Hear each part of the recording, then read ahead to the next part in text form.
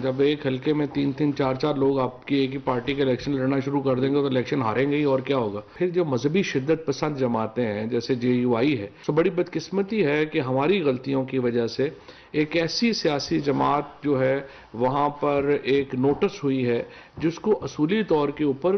ख़त्म होना चाहिए था। और इस तरह के बोने जो हैं, उनको मौका मिलता है कि वो अपना कद बड़ा करें तो मेरा ये ख्याल है कि इससे पाकिस्तान को नुकसान होगा और ये पीटीआई के जो लीडरशिप है पीटीआई के जो वर्कर्स हैं, उनके ऊपर ये फ़र्ज़ है कि वो अपने छोटे मफादात को से पुश डालें और इमरान खान को मज़बूत करें।